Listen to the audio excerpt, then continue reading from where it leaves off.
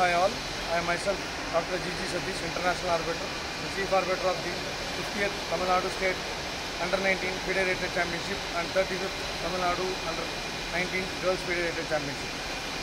This tournament is conducted from 9th June to 12th June at VOC Indoor Stadium at Palayamkottai, Tirunelveli.